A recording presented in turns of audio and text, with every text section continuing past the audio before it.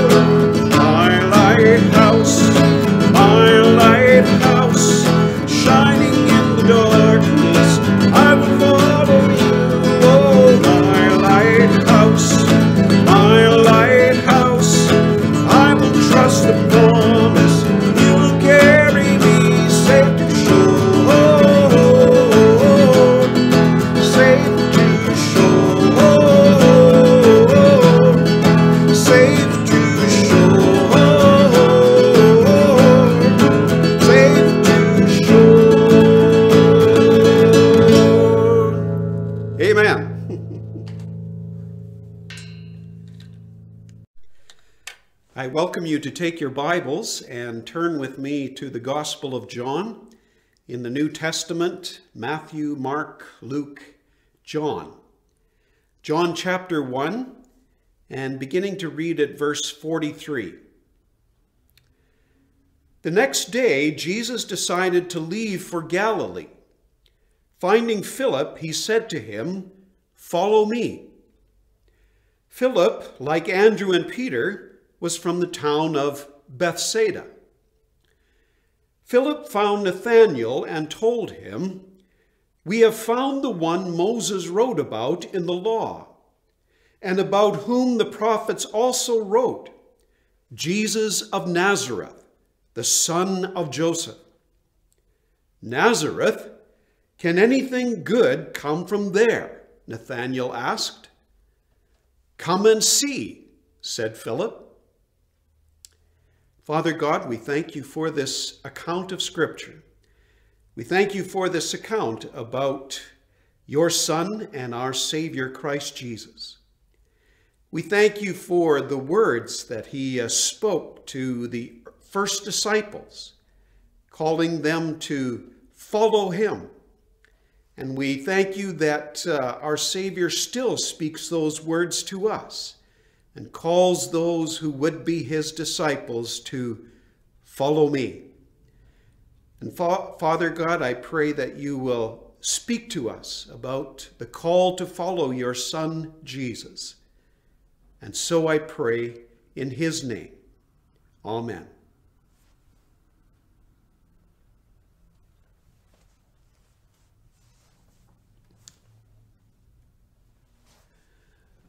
One of the recent exciting archaeological discoveries in the land of Israel is the ruins of the Galilean fishing village of Bethsaida. Two sites, one named Et Tel and the other El Araj, have long been candidates, and both have fit the basic biblical description for the ancient village. But recent excavations at El Araj and discoveries like a first century Roman coin and the remains of a Byzantine era church of the apostles have made the site increasingly more likely to be the biblical Bethsaida. And El Araj is only 200 meters from the Galilean lakeshore, which also makes it the more likely site for a town called Bethsaida, or translated, house of fishing. The other site, Et Tel, is more than two kilometers from the shore. So, archaeologists have most likely found the village that this text, here in the Gospel of John, says was the hometown of the apostles Peter, Andrew, and Philip.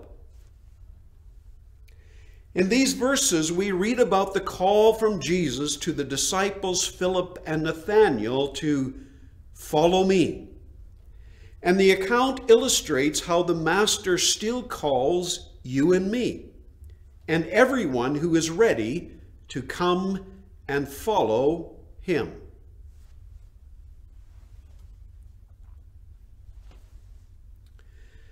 The day after the new disciple Andrew has introduced his brother Simon Peter to Jesus, the master meets their friend Philip and welcomes him to become a disciple also.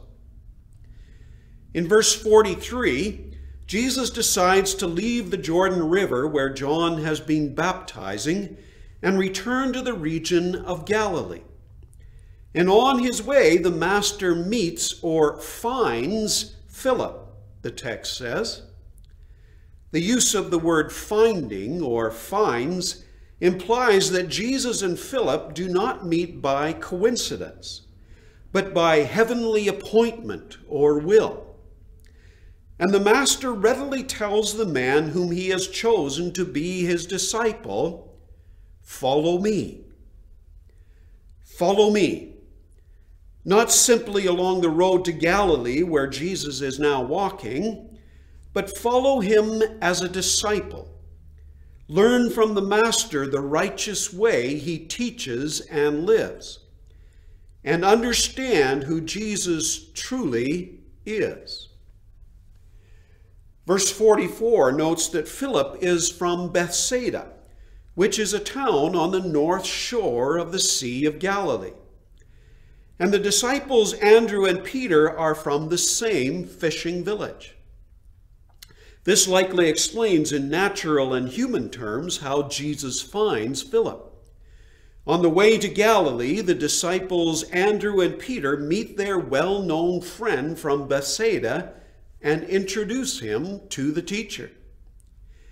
And the compelling manner of Jesus and the enthusiastic testimony of Andrew and Peter serve to convince their friend from Bethsaida that the teacher must be the Messiah, that Philip and the rest of Israel have longed, hoped, and waited for. Out of his own excitement and conviction about the arrival of the Savior, Philip goes, in verse 45, to find another friend named Nathanael, and happily tells him, We have found the one Moses wrote about in the law, and about whom the prophets also wrote. In the scriptural law, in Deuteronomy 18, the Lord God has promised the Israelites that he will raise up for them a prophet like Moses. And many Jews still watch for this spiritual figure and suppose that he will be the Messiah the scriptural prophets have also foretold will come. Jesus of Nazareth, the son of Joseph, is the long awaited Messiah and prophet Philip excitedly declares. But his friend is not so ready to believe the Savior is some little known man from such an unpromising place. Nazareth, Nathanael asks disparagingly in verse 46, can anything good come from there? Nazareth sits pleasantly in the hills west of the Sea of Galilee, and the town overlooks the broad plain of Esdraelon that reaches from Mount Carmel along the Mediterranean coast to the Jordan River on the east. But the scriptures foretell that the Messiah must come from Bethlehem in Judah, and the town where the righteous King David has been from. So Nazareth in Galilee hardly seems a likely place for the great prophet and deliverer of Israel to come from. But in answer to his doubtful and wary friend, Philip simply urges, Come and see. In other words, do not judge the teacher Jesus by what you suppose about him, or even by what I have said about him but come and see for yourself what he is like. Next, in verse 47, Jesus sees Nathanael coming toward him and says, even before he has met the man, Here is a true Israelite in whom there is nothing false. Or, Here is a man who speaks honestly and acts sincerely. This foreknowledge about Nathanael from a teacher whom he has never met before catches the young Israelite by surprise. And in reply, he asks quite immodestly and unpretentiously in verse 48, How do you know me? Or in other words, how do you know me so well and that I am a truthful sort of person? And to this sincere question, Jesus responds in the same verse with an even more profound and surprising revelation about Nathanael. I saw you while you were still under the fig tree before Philip called you. Jesus can hardly know by human reasoning alone that only hours earlier Nathanael has been under a fig tree. And from the reaction of the truthful young man to this declaration about his recent whereabouts, it must have been just as the Master now says. Rabbi, you are the Son of God. You are the King of Israel. The young man says readily and unreservedly in verse 49. And coming from a sincerely speaking Israelite, these are extraordinary acclamations and the highest and most reverent terms a Jewish man can use. And to this wholehearted profession of faith, Jesus responds in verse 50 You believe because I told you I saw you under the fig tree. You shall see greater things than that. The ministry of Jesus is only just beginning, and so also is the revelation of his heavenly glory. I tell you the truth, Jesus solemnly promises in verse 51. You shall see heaven open and the angels of God ascending and descending on the Son of Man. Nathanael and the other disciples will see a revelation of the heavenly Son of Man and prophesied Savior that will be like the glorious dream the patriarch Jacob has seen at Bethel in Genesis 28.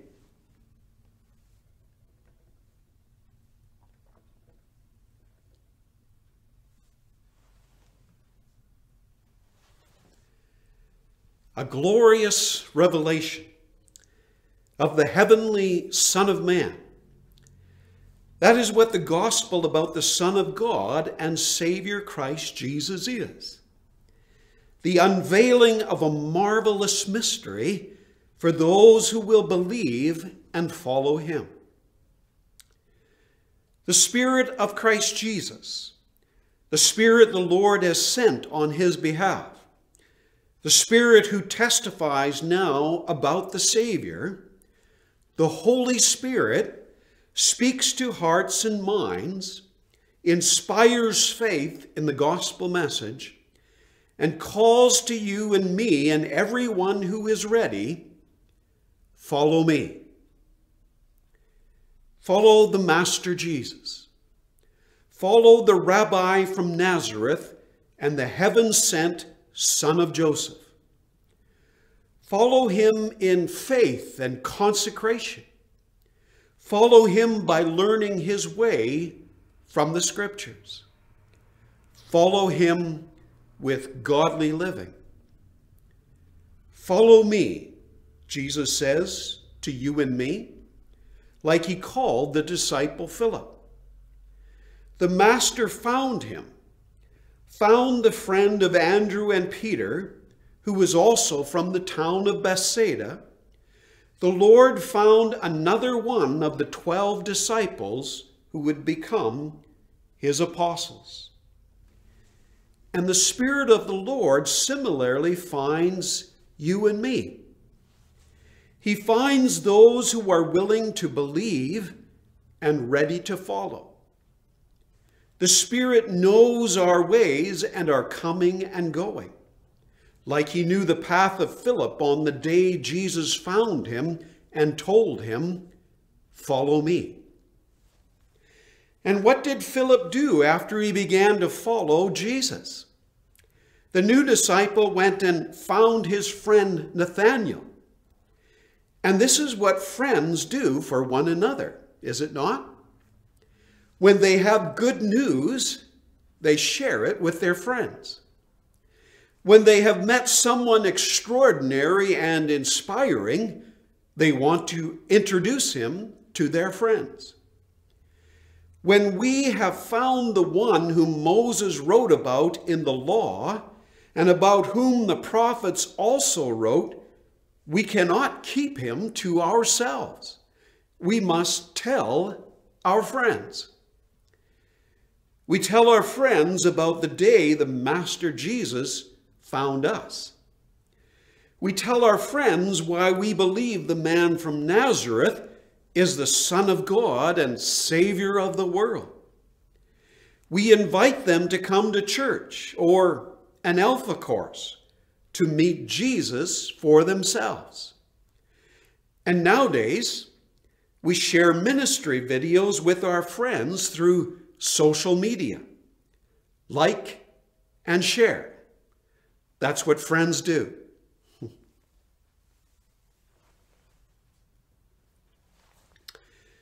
But some of our friends have doubts, like Nathanael. Nazareth? Can anything good come from there? Indeed, the greatest of all goods has come from Nazareth. And he has been born in Bethlehem, just as the prophets have foretold about the Jewish Messiah. If our friends have honest questions and sincere doubts, then we have reasonable answers and compelling proofs for them.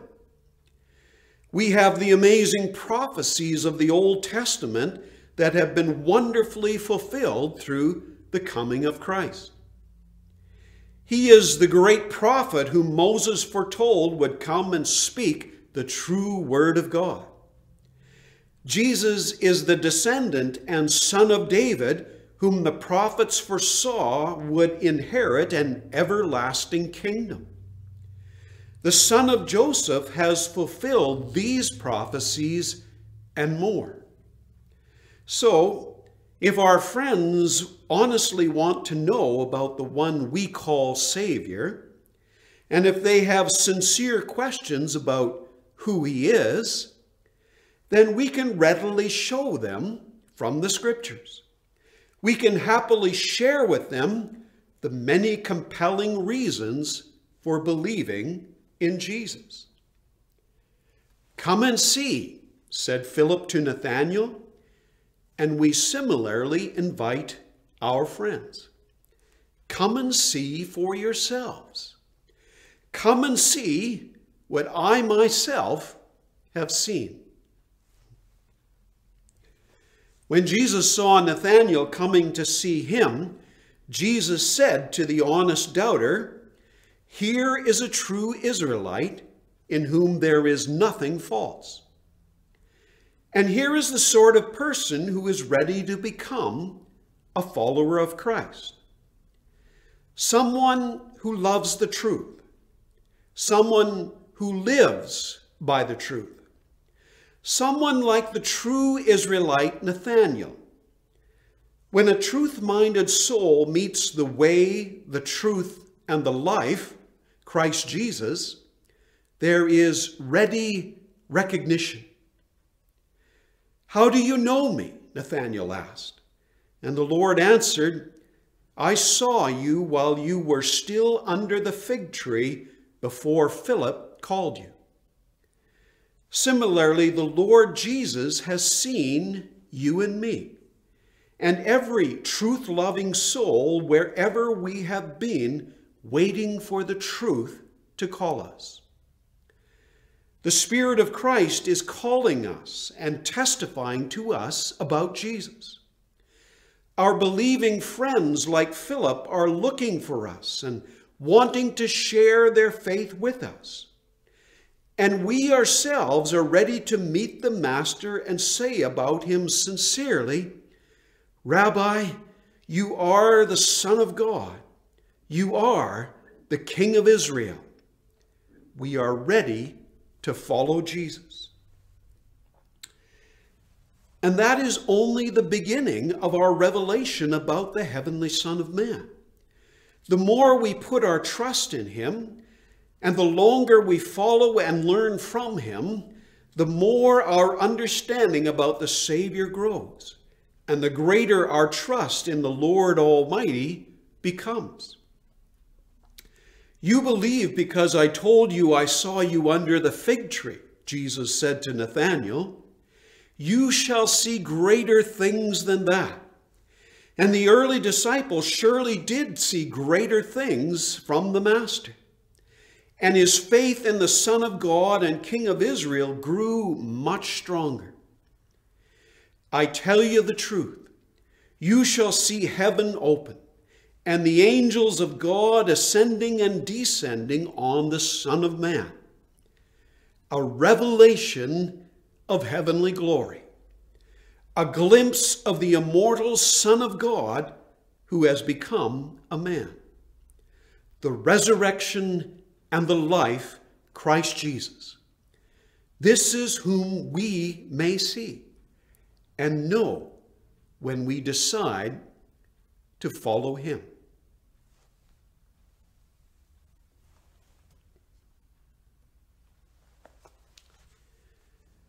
The Alpha Canada website currently features the video testimony of a young man named Nick, who has recently become a follower of Christ Jesus. Nick's story and spiritual journey is not unlike many young Canadians. He grew up in the church, but in his late teens rejected his faith and turned away from Jesus. But early in 2020, Nick went to a wedding and met an old friend who invited him to an Alpha course. Nick reluctantly started attending. But then COVID hit. and the church moved the course online. So Nick continued with the course and discovered that being in the comfort of his own home made it easier for him to open and share with his online friends. When they reached the talks on the Holy Spirit, Nick was overwhelmed by the love of God and surrendered his life to Jesus. He experienced the transforming power of the Holy Spirit in his life and went from being a guest at Alpha Online to helping host a small group for the next course. Follow me, Jesus said to Nick, through the Holy Spirit, through the online Alpha course, and through the invitation from an old friend.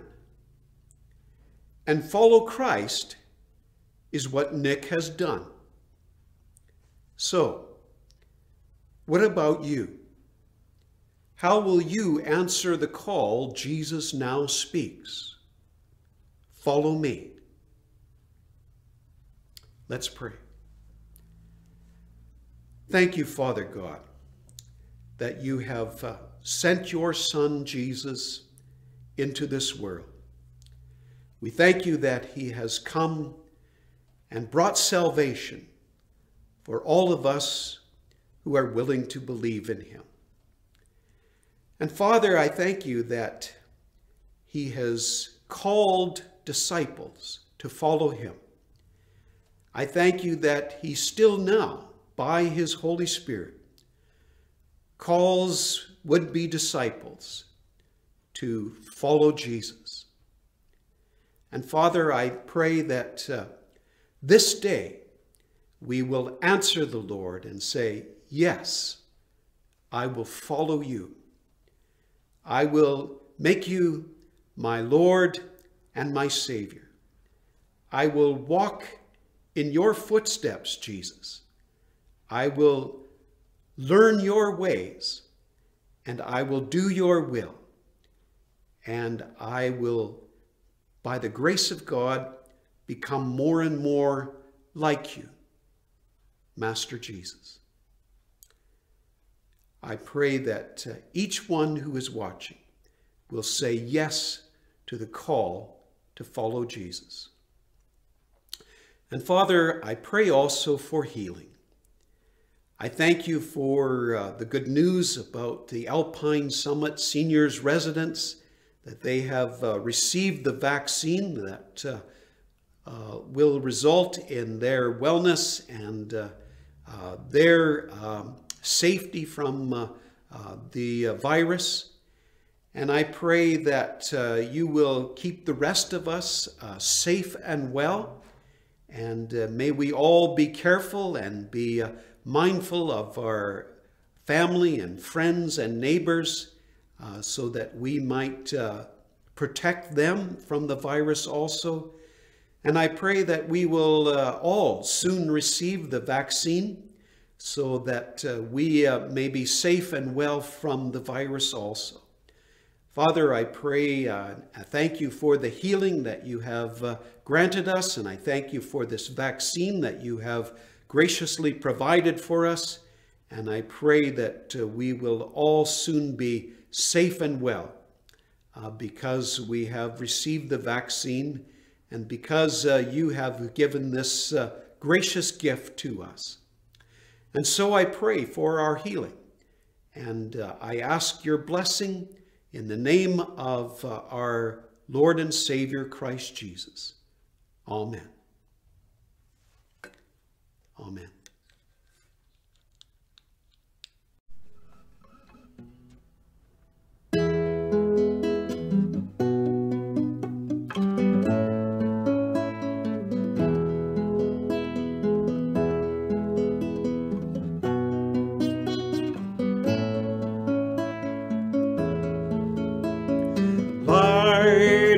The world, you step down into darkness. Open my eyes, let me see. Beauty that made this heart